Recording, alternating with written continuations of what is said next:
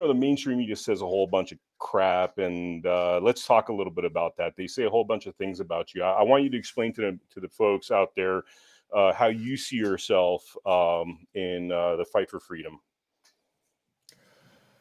Well, there, as you said, there's a lot of rumors out there about me. Um, essentially, I am trying to quarterback or play quartermaster for a regime change operation that we're trying to make happen in the United States.